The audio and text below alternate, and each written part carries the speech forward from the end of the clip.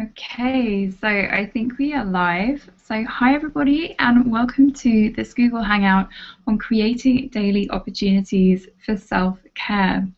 My name is Hannah Braime, and I really appreciate you taking the time today, uh, evening here, maybe it's the morning where you are, to join me for this webinar. We're going to spend the next 45 minutes, around about that amount of time, uh, unpacking ways that you can create opportunities for self care in your daily life. So, just to give you a quick introduction to who I am and what I do, just in case this is your first Google Hangout with me and it's the first time you've heard of me or Becoming Who You Are, um, I'm the founder of Becoming Who You Are, which you can find at becomingwhoyouare.net, where I teach people how to be kinder to themselves. I truly believe that if we were all a little bit kinder to ourselves, that would create a huge, dramatic shift and go a long way to solving a lot of the problems that we experience in our daily lives and a lot of the problems that we experience in our world as a whole as well. So I share ideas and I instigate discussions on self kindness, creativity, and everything in between through my blog, through podcasts, videos, and webinars like this one that you are watching today. So this webinar is about self-care and the first question that I really want to address is why do we need to create opportunities for self-care in our daily lives? For a lot of us, self care might feel like a luxury or something that we'll do when we have more time, when we have more money, when XYZ project is finished, and so on and so forth. In reality, self care is actually a necessity. I like to say that self care is health care because if we don't have self care, our emotional health suffers, our physical health suffers, and it's generally not good. So if you've taken a flight anywhere, if you've been on an airplane uh, at any point, you'll probably remember the, the safety demo that all the attendants give at the beginning, where they talk about how it's really, really important if the oxygen fails and the oxygen masks come down to put on your own mask first before helping other people. So this is true in emergency situations on airplanes, and it's also true in our day to day lives as well. If we're not taking care of ourselves, there's a very, very limited amount that we are able to give to other people. And if we want to take care of other people in our lives, you know, if we want to really show up for our friends, our families, our partners, our colleagues at work, you know, in our job in general, um, in our leisure time, and just really make the most out of life, we really need to put that oxygen mask on for ourselves first. And that is what self care is all about. So that all sounds well and good, but for many of us, we don't actually feel like we have time to include self care in our daily lives. We already have all these competing demands for our energy and time, and the last thing we really want to do is to pile more of those on top of the big heap that probably already exists for you. I know it exists for me, certainly. So this webinar is going to be less about what you need to add to your life and more about how you can tweak your existing day-to-day -day life to add a little more self-kindness and self-care. I'm going to be sharing five ways that you can do this plus an opportunity to take your self care practice even deeper with my upcoming course, which is from Coping to Thriving. And I'll be sharing more about that at the end of this Hangout. So, here are the suggestions I'm going to be sharing with you in more detail over the next half an hour or so. Number one, look at what you're already doing. Number two, look at where you're spending time that doesn't serve you. Number three, Identify your non-negotiables. Number four, create a morning routine. And number five, remember that self-care is about meeting your needs.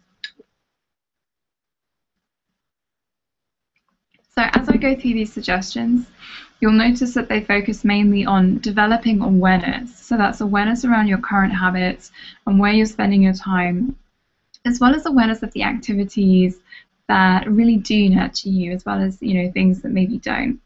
The reason I'm starting with awareness on this webinar today, and the reason that I start with awareness during week one of From Coping to Thriving, is because we can't know what we don't know. I think that's really, really important. It sounds very obvious, but I think it's something that actually a lot of us forget sometimes that we can't know what we don't know.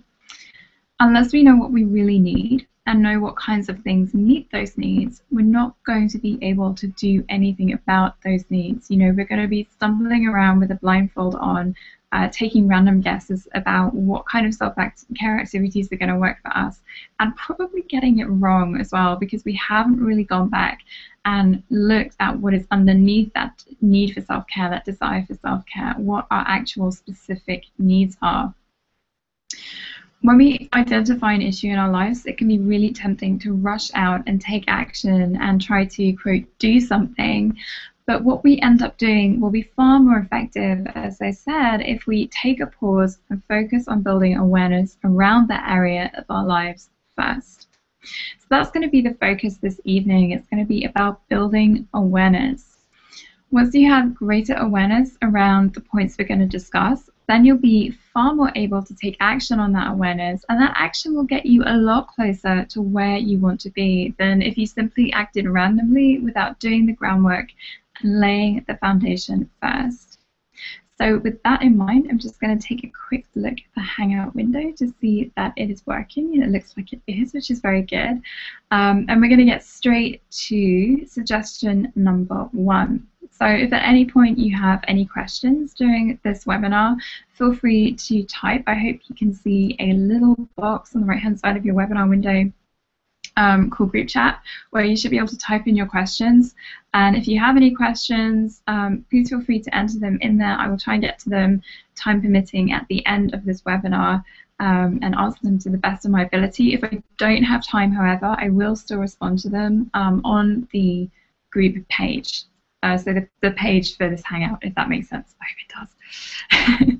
so yeah, feel free to fire your questions my way. And in the meantime, I will go straight to suggestion number one, which is look at what you're already doing during your day. So according to a study published by Duke University in 2006, around 40% of the things we do during our day are not actually conscious decisions, they're habits. You know, we actually think we have far more control and autonomy in our lives than really we do. A lot of what we do during our day is a series of habitual actions that we've developed over time. So, as we're looking to create more opportunities for self care in our lives, a great place to start is by looking at what we're already doing and exploring where there might be room to add a little more self kindness and a little more self care to those areas of our life that already exist. So some of the most obvious examples, uh, or two of the most obvious examples, and the most important, I think, are eating and sleeping.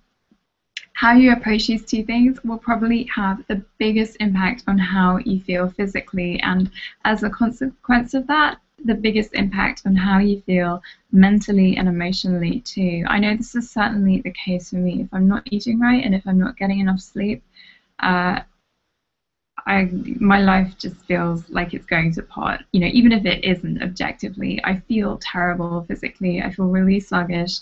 Um, I'm less resilient than I am usually. I, I feel lower emotionally too. Um, it really, really has a huge impact. And it sounds really basic, and you might be sitting there thinking, oh, this is kind of obvious. But really do not underestimate how much of an impact eating and sleeping and the way that you go about those things and the care and attention you pay to those things, how much of an impact they will have on your life. So it's really, really important to examine how you're approaching these aspects of your life right now. And these, among other things, is really about what this first suggestion is, is what this first suggestion is about. So questions to consider are things like Are you fueling your body in a way that is right for you? Do you eat clean? So, in other words, do you eat um, natural, unprocessed food? Uh, there's lots of uh, debate around you know which diet is healthiest and which diet is the best for everybody. Um, personally, I'm a big believer in doing what is right for you, listening to how your body responds to certain foods, and going with that rather than um, buying into a certain sort of dietary approach that might or might not work for you. So along these lines, you can pay attention to things like which foods leave you feeling energized and which leave you feeling more weighed down and drained as well. Start to notice how what you put into your body affects how you feel. You know, start to notice also when you experience things like cravings and what those cravings might be for. And then also think about if time and money were no object, what would your ideal diet look like? And how does that differ to your diet right now? So once you've answered these questions, once you've taken some time to explore, you know, how you're approaching your relationship with food right now, how it could be different, uh, how you would ideally like to be approaching it as well. Once you've done this groundwork, um, start really, really small. Again, you know, this webinar and self-care in general is not about making big, drastic changes to life. There's definitely a time and a place for big, drastic changes, but in general, uh, changes are far more um, sticky if we make a small change at a time. So what I'd invite you to do with this, if you look at your eating and you realize that actually, you know, I really have an opportunity for self-care in my eating, in the way I approach food, um, is to start to introduce one healthier meal per week into your diet. Um, so the first week, maybe start with one healthy meal. The second week, start with another two healthy meals and add another one on, another one on, until you're working your way closer to your ideal vision. So it's really about baby steps. But as I mentioned, the first step and what we're focusing on right now is developing that awareness around what is working for us and where we can show ourselves a little bit more self-care and self-kindness. Similar to food, you can explore sleep hygiene in a similar way. So questions that you might find helpful around this are how often do you rely on an alarm to get you out of bed? Um, I think this is a really interesting one, and when I started exploring this for myself, this was a pretty huge revelation for me because I grew up with an alarm clock. I have always had an alarm clock uh, pretty much since I can remember, and you know, I'm just used to it. I accepted it as a normal part of life. But the more I explored it, the more I realized that actually, when we use an alarm clock, when we have to wake ourselves up or have something external waking us up, that's probably a sign that we're not getting as much sleep as we need to. And we all know that feeling of, you know, waking up, hearing the alarm go off, and feeling this real struggle within ourselves of, oh, I'm so tired, but I've got to get out of bed. And it really takes a lot of willpower um, some mornings to do that.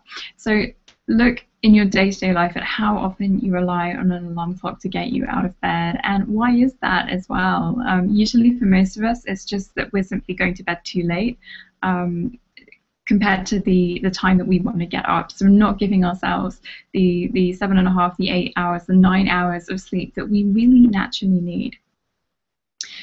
So how often do you rely on an alarm clock? How often does waking up just feel like a real struggle? You know, that struggle that I talked about that I think we're all too familiar with. Um, and then, you know, also things like how often do you keep phones, tablets, laptops right by your bed?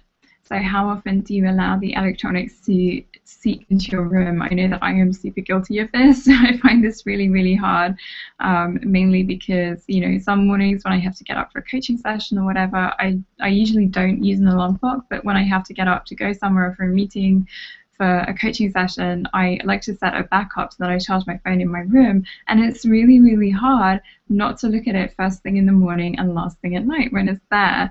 Um, so look at your own habits around this as well. You know, there's so much research out there that shows how um, electronics are really, really bad for our sleep, for our sleep quality if we are looking at our iPad or looking at our laptop or our, our phone the last thing before we go to sleep, um, it really affects how well we sleep and the quality of sleep we get. So I know it's a really hard habit to break. Um, you know, things like changing our bedtime, shifting it up maybe half an hour or an hour earlier. These things can be really, really hard to get going with, but they do make all the difference to our quality of sleep. And as a result of that, our experience of our day to day lives as well. So it's really worth looking at that. I'm just going to take a sip of water. So sleeping and eating are just two of the things that you could explore. I'm raising them today just because for many of us, they are two of the things that, you know, we, we all need to sleep and we all need to eat. So these are things that we are doing every day anyway. And for a lot of us, they are things that we're not super conscious about. You know, we don't sometimes pay a huge amount of attention to what we're putting into our bodies, how much sleep we're getting. We tend to prioritize other things over these two really essential aspects of our life. So apart from these, to get started, I encourage you to keep track of what you spend time doing during your day. So just check in with yourself every hour, make a note of what you're doing, even if it's a mental note. Um, I do suggest you write things down because often when we write things down, uh, we tend to get a different perspective on them. It can be really, really helpful to do that. Um, but even if it's just a mental note, just keep a tally of what you're spending your time on during your day and um, start noticing, like building that awareness that I talked about at the beginning. So for each activity that you do every day or that you spend significant time doing during your week, um, try asking yourself, if I were to add 10% more self-kindness to this activity, what would I do differently? So for each activity that plays a really significant part in your life, whether that's sleeping, eating, uh, spending time with people, working, um, sitting in front of the TV, you know, whatever it is you spend a lot of your time doing, um, ask yourself if I were to add 10% more self kindness to this activity, what would I do differently? So, actually, this water bottle is a great example of um, some taking something that I was already doing and turning it into an opportunity for self care. Um, so earlier this year, I was living in Mexico, and I was really good about drinking water then, um, just because you kind of have to be. It's really hot, it's really humid, and if you don't keep chugging the water, you soon start to get really dehydrated. But then when I came back to England, um, it's a lot cooler here, a lot cooler, and you don't have that sort of need necessarily. You don't feel that same kind of dehydration and thirst if you're not drinking as much water as you would do in Mexico. So after a couple of weeks, I noticed that actually I was getting quite dehydrated because I just wasn't being super conscious about my water intake. So um, a really easy way that I kind of added more self-care to something that I was already doing was to get this water bottle. It's BPA free, so there's no nasty chemicals, and it really makes it easy to keep track of how much water I'm drinking as well and make sure that I am getting as much as I need on that note, I'm going to have another little sip. right. So suggestion number two is to look at where you're spending time in a way that doesn't serve you. So when we want to add something to our lives, we tend to go ahead and add it without remembering that our time and our energy are finite and that for everything we add to an already busy life, we also need to take something else away to make room for it. Otherwise, we're just piling stuff upon stuff upon stuff onto this big heap of commitments and demands and desires and needs and eventually our plate will completely overflow and that's not a fun situation to be in. I think we've all been there and we all know what that feels like. We all spend time doing things during our day that don't serve us. So if you're starting to feel like your plate is overflowing a little bit, or you feel like your plate is pretty full, but you want to make more time for self care, this is a really good place to start looking. So going back to the statistic I mentioned um, about habits earlier, around 40% of our behavior can be on autopilot. It can be habitual. You know, we think we're in control of it, but actually it's a habit. It's something that's developed over time. And not all of those habits are good, as we all know. In fact, if you're anything like me, you probably find it much easier to develop uh, so called bad habits or habits that aren't super good for us in the long term than you do to develop good habits or habits that are healthier for us in the long term. So as you keep track of how you're spending your time uh, with the suggestion uh, I mentioned just now, so keeping track of where you're spending your time during your week, what things take up a lot of your time, what are your really significant commitments, um, what do you do during your day, what activities do you invest your energy in. Um, as you keep track of those, just notice how you feel about them. Um, again, this might sound really obvious, but it's often something that we don't actually pay attention to, especially if we're on that autopilot. You know, a great example of this is um, a really bad habit that I developed a while ago. It was going on Facebook kind of just almost compulsively and habitually if I was getting uh, a little bit bored with what I was doing or I was doing something and uh, it was maybe a little bit anxiety provoking, so I sort of ended up procrastinating my go-to way of procrastinating would be to click on Facebook and then just scroll through the same items on my newsfeed over and over again. I feel a little bit embarrassed saying that because it's not something that I feel super good about. It was not a very constructive use of my time. Obviously, there's worse things that I could have done, but I think the key thing here is that I knew that this wasn't good for me because although I sort of got a little hit of relief in the moment, afterwards I would really not feel good about it. So that's why it's really, really important to, as well as keeping track of how we're spending our time, to notice how we feel about how we are spending our time and how we feel about the things that we're really investing our time and energy into. So as you evaluate how you're spending your time and look out for areas where you might be spending time on activities that don't serve you, it can be helpful to think about what your future self will most thank you for. So a question that I find really helpful, um, you know, when I'm when I want clarity around a situation, when I'm not sure what to do, when maybe I'm feeling some resistance, you know, around like going out for a run or doing a workout or sitting down to meditate and making that time, like creating that opportunity for self-care. Um, a question that I find helpful is what will my future self most thank me for?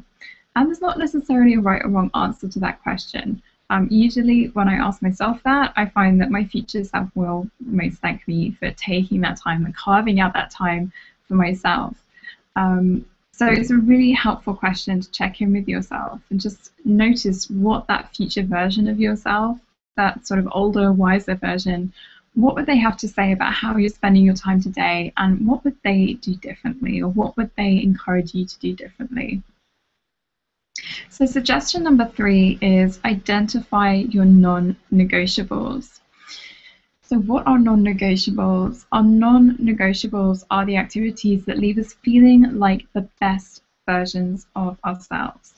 These are the things that when we do them, we are left feeling energized, we feel inspired, and we are ready to take on the world when we fit these things into our day, life really feels like it's working. And we've all had days like that where we wake up, we're raring to go. Um, everything just seems to work really, really smoothly. You know, there's maybe a couple of bumps in the road, but we're feeling so great, it doesn't matter. So that's what non negotiables are really about, are cultivating that feeling of security, of stability, and of self assuredness within ourselves. So, uncovering our non negotiables is an exercise that I do with most of my clients. And some of these things, some of the things that have come up really frequently for people that I've talked to about this um, include things like going outside, uh, getting some quality time in nature, journaling, having alone time, having time to be creative, exercising, uh, drinking a smoothie was one that came up quite frequently for clients as well, and so on. And so yours might be very, very different. I just offer those to give you an idea of, you know, some of the things that you might want to include. Uh, my non-negotiables include things like exercise, meditation, journaling, and getting at least seven and a half hours sleep. I know that when I when I do all those things in a day, and I have a couple more as well, but when I do all those things in a day, I feel really, really good. You know, my life is working when I can look back at sort of lunchtime or late afternoon and know that I did all of those things and I really took care of myself. As a sort of slight tangent, um, I think it's a really interesting thing that you know we feel we can feel so much resistance to self-care, um, but actually self-care is incredibly rewarding when we get it right. So when we're doing things that are actually non-negotiables for us and that really meet uh, those needs for us, when we pay attention to what our unmet needs are in the moment, which I'm going to talk about in a second, and we really we do things that will really target those needs. When we do self-care right, uh, the very act of doing self-care, if I can say that, or living in a way that is self-caring, is so fulfilling within itself. I think that's something that we, we don't sort of talk about as much as maybe we could do or appreciate or pay as much attention to. But I think it's a really, really important point that when we get self care right, that in itself is really, really fulfilling, knowing that we're taking care of ourselves. You know, it's such a special gift to give ourselves. So coming back to the non-negotiables, like I know for myself that when I do these things, I can handle life's ups and downs with far greater resilience, as I mentioned earlier, and I, I generally have a much brighter outlook. You know, I, I mentioned earlier as well that when I don't get enough sleep, it really affects how I feel physically and emotionally, and I really, really noticed those effects after a while. The funny thing is, I used to live my whole life like that. You know, I, I used to, especially a few years ago, uh, when I, I used to live in London, then I moved to cities, and for a while after I moved cities down to the coast, I was commuting back and forth to London every day to work. So I was spending like three hours on a train. My train in the morning left at 7 a.m. I don't like early mornings, especially it was winter. It was really dark. It was dark when I left. It was dark when I got home, and um, I was just not getting enough sleep. You know, every morning I was having to drag myself out of bed to that alarm, um, partly because I didn't really feel like I had a life outside of work either. So I was trying to maximize my evenings, and it just got into this vicious cycle. And it's funny because I got so used to it at the time that coming out of that period when I started um, working down here for myself and uh, not using an alarm anymore, it was kind of funny to look back and realize how differently I felt. So wherever you are right now, if you know if you recognize within yourself that maybe you have these non-negotiables that you're not meeting, um, even what feels normal to you right now probably isn't how good you could feel if you were paying attention to your non-negotiables, if you were meeting your needs, if you were doing basic things like eating right, getting enough sleep, etc. So there is, you know, it's like opening up this whole other level of uh, feeling alive and enjoying life and embracing life that we're not giving ourselves the chance to access if we don't pay attention to these things. What these activities are, so what your non-negotiables are, I, I, gave you a few examples just then as, as examples to give you a couple of ideas to get you started. But what these activities are for you doesn't matter as much as how they leave you feeling. That's the really, really important part. As you unpack your non negotiables, think about the activities that leave you feeling really good. So notice which activities leave you feeling ready to take on the world and create a list of the top five or so. Three to five is a good number to start with. And once you have these, you'll be ready to move on to the next suggestion, which is creating a morning routine. Before we get to that, I'm just going to have another little sip of water.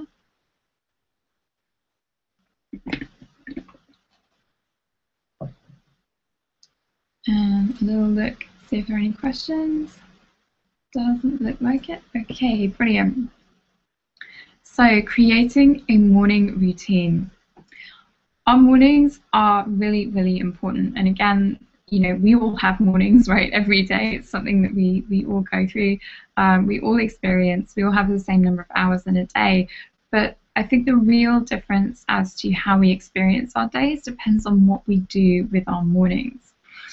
So, creating a morning routine that will set us up to have a really rocking day is a crucial act of self care. And I know I mentioned at the beginning that most of the suggestions I'm focusing on about are about more tweaking what we're already doing in our lives. This one is slightly different because it is about sort of creating something new in our lives and adding something to our lives. Um, and this is the only suggestion I'm going to mention today that potentially involves adding something to your day. But hopefully, with the previous suggestion of looking at where you're spending your time in a way that doesn't serve you, you might be able to identify some things you're spending your time on that aren't so great for you, that don't leave you feeling good about yourself and about how you're spending your time and your energy. And consequently, you might be able to see some opportunities where you can free up a little more time for more self caring activities. Um, so even if you haven't, you know, I appreciate I'm throwing a lot of information at you in this webinar so far. So even if you haven't sort of had thoughts about, oh, you know, where can I free up more time? I wonder. Um, this concept of developing a morning routine is 100% worth paying attention to and taking action on because it will make all the difference to how you experience your day as a whole. So routines and habits are useful because they work on a cue action reward system. So this is something that Charles Duhigg talks about in his book, The Power of Habit.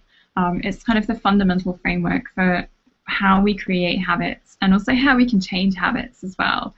Um, so if you're more if you're interested in sort of habits and how to make them, how to how to change them, uh, as he points out, you can't really break them. So uh, unfortunately, that that is the case that um, psychology has proven. But um, if you're interested in that, I really really recommend checking out his book, The Power of Habit. It's a very interesting and enlightening read. So routines and habits work on this cue action reward system. So we feel the cue, um, which in the case of habits might be a craving or a desire to do something. Um, I'll just use a specific example to make it easier to understand. So a classic one is the sugar cravings, right? The the afternoon donut if you eat donuts. Um, let's use that one. So the cue is the sugar craving. The action is eating the donut and the reward would be the sugar rush and the I don't know the the kind of hormones and everything. I'm not a biologist, as you can tell. the hormones and the the whatnot that's released when you get the sweet taste on your taste buds, and then as the sugar goes into your system, the kind of you know the feel good effect of that. Um, and so that's that's an example of the cue action reward system. And so with bad habits, this is a detriment because when we feel the cue and when we take action on that cue, that just reinforces the bad habit. But what this framework means is that we can actually use this to our advantage with positive habits, with habits that are really healthy for us. So the more we get used to having an awesome morning routine, and the more we get used to starting our day with, um, you know, I, I start my my day with my non-negotiables. Some people have what they call a morning stack, which is literally a series of actions that they take every single morning in a specific order. Um, but when we can develop a habit or a routine like that and get used to having an awesome morning after taking part in our morning routine, the more effective that routine will become because as soon as we start that routine, so as soon as we start engaging in that first activity that um, signals the beginning of our morning routine, the more our brains will start anticipating the feel good feelings coming up. So it's a really, really powerful habit to create this morning routine. In this way, consciously creating a morning routine allows us to set ourselves up for the best day possible. Now, of course, we can't control what life throws at us sometimes. You know, life is basically a series of ups and downs. Um, but as I mentioned earlier, you know, with non-negotiables, part of the benefit that I get from them and part of the reason why they are so powerful is because when we practice, uh, whether it's non-negotiables or other things that you include in your morning routine, when we practice these diligently, we are taking control of what we can control. So, regardless of what else is happening in our lives that is outside of our control, the main thing is that we are really we're empowering ourselves. We're taking control of what we can control and giving ourselves the best opportunity we can to create a positive experience or as positive experience as we can have out of the next 24 hours ahead. So rather than, um, you know, a way of thinking about it, is thinking about those, um, you know, those machines that they use in tennis courts for practice, where it's just a, a, ball machine that's firing ball after ball after ball. And we've all seen the kind of comedy sketches and movies or um, I'm sure I saw a TV program once where one of these things goes haywire and starts like firing balls all over the place, and the poor person there with a tennis racket is sort of trying to um, fend, fend off all these balls that are flying at them. Um, life can feel a little bit like that sometimes. I don't know about you, but that's kind of the image that comes to mind for me. Um, and you know, a great way of thinking about it is that during those times, if we don't have our non-negotiables in place, if we don't have a solid morning routine that's really setting ourselves up for a great day, if we're not dedicating that time to ourselves, it's like standing there without a tennis racket and having to kind of just like shield ourselves from all the stuff that's flying our way. Whereas if we have paid attention to our non negotiables, if we have um, developed a solid morning routine, and if we are really taking care of our needs, you know, we're standing there with like two tennis rackets like a boss, and we are hitting these balls away from us. We are being way more resilient. We are far, far more in control of how we let these things that happen in our lives affect us. So this goes for the highs and the lows. You know, I was reading a book recently where um, I think it was The Language of Emotions by Karla McLaren, which is a really interesting book. Again, another one I recommend. And I'll, I'll try and remember to post all the links to these, these resources that I'm mentioning on the event page after this webinar is over. Um, but she talks about how um, when it comes to feeling joy and elation, actually, we don't want to feel those things too often. We don't want to experience the really high highs. Um, what we what we want to do is almost sort of stay um, peaceful and calm. Um, because the argument that she makes, as far as I remember it, is that you know if we sort of go too high above that uh, that stable place of feeling inner peace and calm, and that doesn't exclude happiness and joy and all of those things. Um, but if we experience that really extreme elation, then inevitably at some point we will come down from that and we will experience um, lower feelings as a result afterwards. Uh, and she makes the point, um, she, she kind of goes into a lot more detail about it and explains it in a much better way than I'm explaining it here. But um, she talks about how, you know, we really want to develop more uh, emotional resilience to the high highs and the low lows of life. And that's really what we're talking about here. So we all have the same amount of time each morning, which means that we can use this time to create an opportunity for self-care, as we've, as we've just been talking about. So this is where your awareness of your non-negotiables will be really, really helpful. Um, most, in fact, all of my morning routine, um, with the exception of sort of showering and having breakfast, um, involves my non-negotiables. So I get most of my non-negotiables out the way before I sit down and do anything else in the morning, and it really, really makes a huge difference. So you, you can experiment. You can start to use the activities that you identify as non-negotiables to start creating a an activity stack for your morning. Um, so maybe starting with some journaling, then some meditation, then some exercise. That's the way I do it um, before you head out to work. But you don't need to squeeze all your non-negotiables into the morning. it can be really helpful. Um, I personally recommend it if you can uh, just because it really does give you a great start to the day. However, I appreciate that everybody has different schedules. It might not be possible for you to do that. Um, so shuffle things around, experiment, and try out sort of different puzzle pieces and see how they're going to fit together and create a morning routine that works for you. As I said with non-negotiables, the actual activities that you do are not as important as how they leave you feeling. That is the really, really key thing here.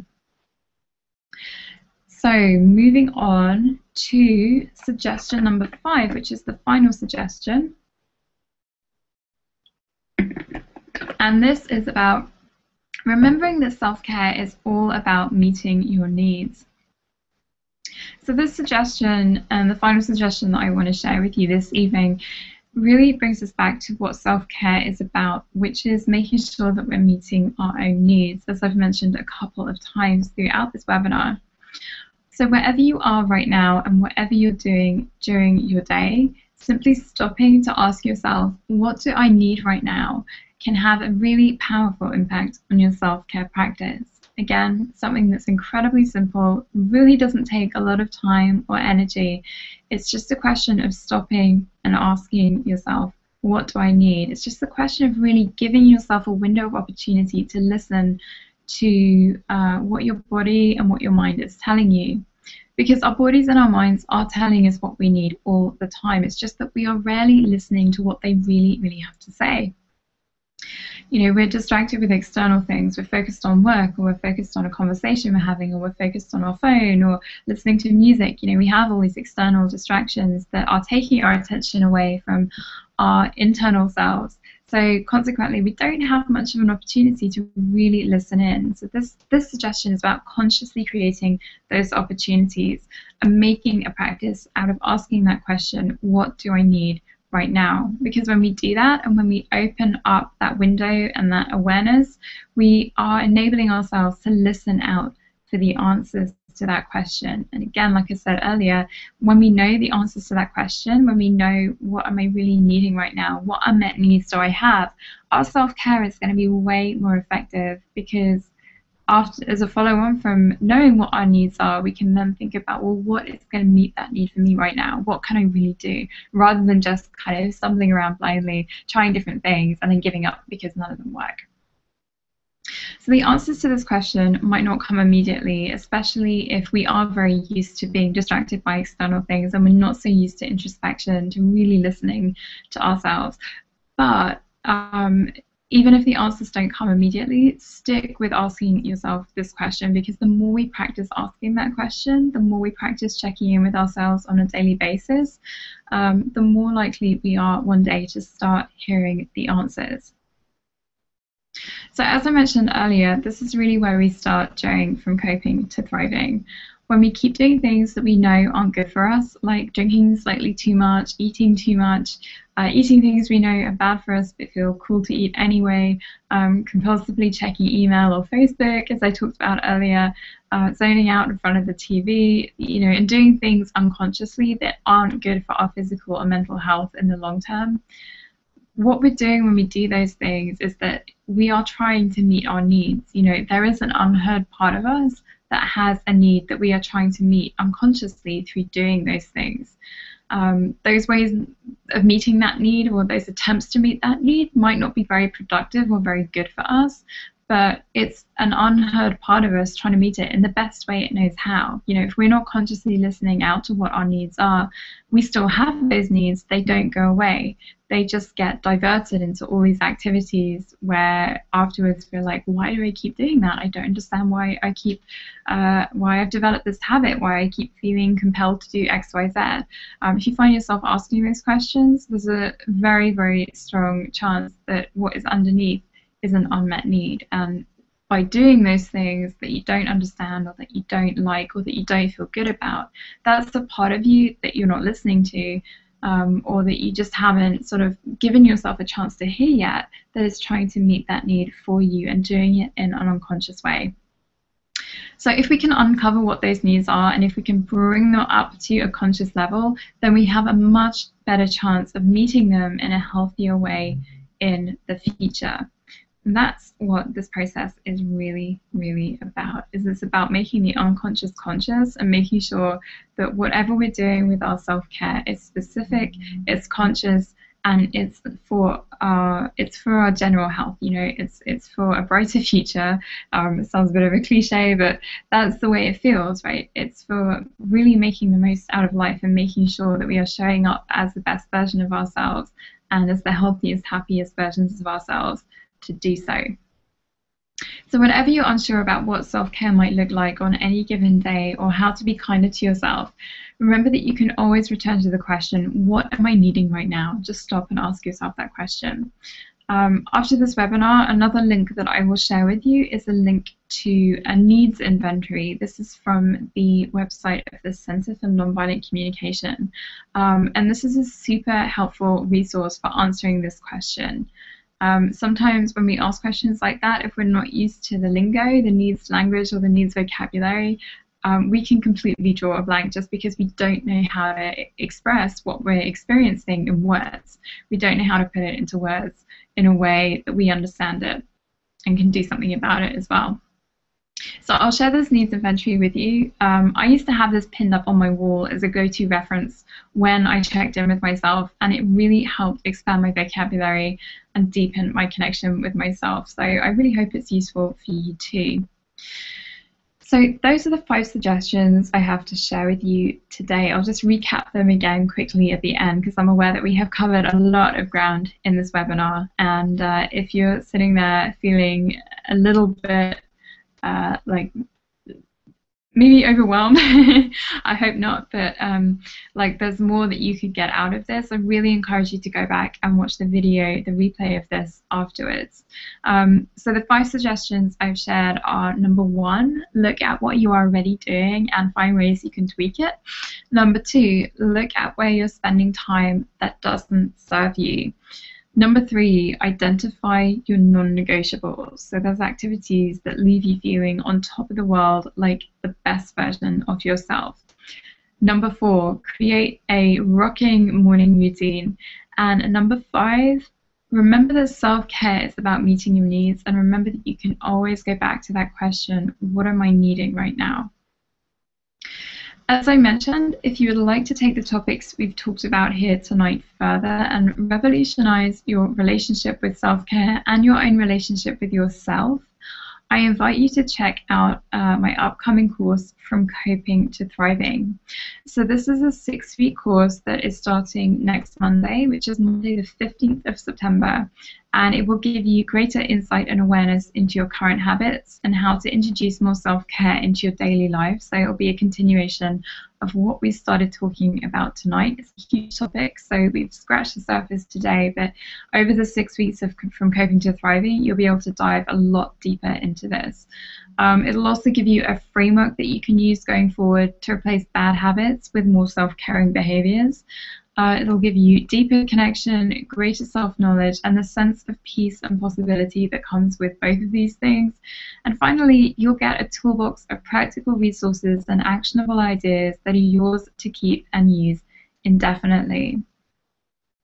So as I mentioned, the course is six weeks. I'll just give you a really quick breakdown of what you can expect to see in each week and how the structure of the course plays out. So week one, as I mentioned earlier, week one is really about the foundation. So what is self-care and what does it look like for you? During this week, we'll lay the foundations of a sustainable self-care practice. We'll explore things like your values and your needs, so really fundamental self-awareness work and we'll identify your current coping strategies. So those things that I talked about earlier that we do that um, that we know aren't very good for our health in the long term, but we sort of feel compelled to do anyway.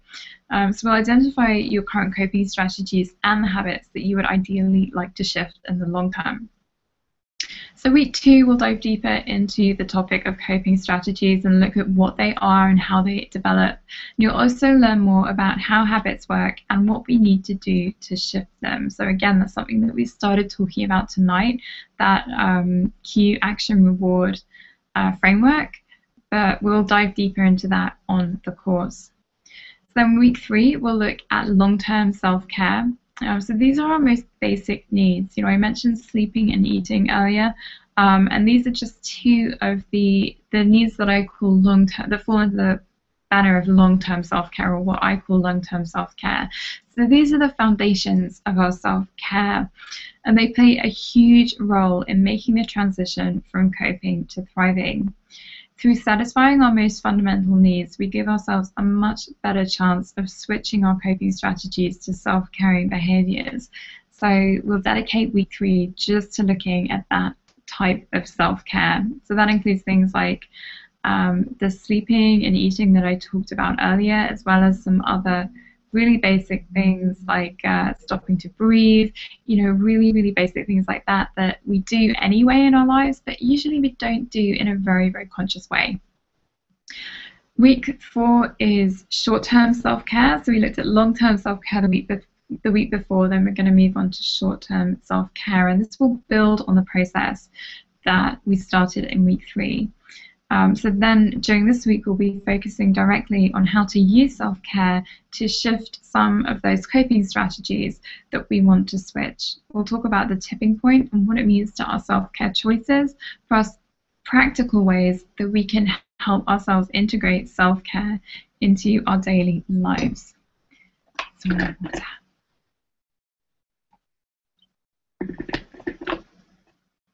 So carrying on, in week five, in the penultimate week, we will focus on creating a sustainable self care practice. So this is really cementing all the work we've done so far in the course and making self care an integral part of your life in a way that works for you. You know, I really I don't use a cookie cutter approach on this course. I don't believe in that. I think everybody is different, and so um, I'll be exploring with you how you can balance long term and short term self care plus discuss what a consistent self-care practice looks like in reality for you. Finally, week six, um, which is called Onwards and Upwards. um, this is the last week of the course, and it will be about continuing the valuable work that you've started. So during this week, we'll talk about some of the most common obstacles to self care that you might encounter and how you can work through them. And you'll end with the tools and resources you need to create a life based on self kindness and compassion. So that's the basic structure. As far as the logistics go, the course consists of emails. You also get an individual coaching call with me and three group coaching calls where we all come together and do a workshop. There's time for um, live Q&A, stuff like that. And so that will happen over the six weeks. It's a really, really wonderful way to devote some time and attention to the most important relationship in your life, which is your relationship with you, and also to connect with like minded people who are on a similar journey to you. So if you'd like to join us, you can go to bit.ly slash coping to thriving. That's the short link you can use, or click on the link I will include on the webinar event page after this is over. Um, so remember that the course is starting on next Monday, which is Monday the 15th of September. So you have until 12 a.m. Pacific time Monday to register. So that's it for tonight. I will just do one final check for questions. And if you are listening right now, if you have any questions that you haven't asked yet but would like to ask, um, you have approximately two minutes to type something really quickly and uh, drop it in the group chat. Um, I really appreciate you showing up tonight, um, watching. Please feel free if you have any questions about anything I've discussed tonight, about from coping to thriving, or anything else to do with your self care practice. Um, please feel free to email me at Hannah, that's H-A-N-N-A-H, at becomingwhoyouare.net. Um, if you're part of the tribe, um, so the Becoming Who You Are community. Um, you can also feel free to post in the Facebook group for the tribe as well, and I will respond to you there. So doesn't look like there are any questions, so I'm going to say thank you once again. Really appreciate you showing up tonight. Um, I hope this webinar has served your self-care practice, and I really hope it's given you um, at least a starting point from which you can start to integrate self-care more into your daily life and create these opportunities for self care um, using the life that you already have. So, not necessarily needing to add anything, it's just looking at what you already have, what you can tweak, and what you can create from what already exists. Um, so, yeah, thank you for coming. I hope you've enjoyed it. And most of all, I hope you have a lovely morning, day, evening, wherever you are in the world. And I will talk to you again very soon. Okay, thank you. Bye.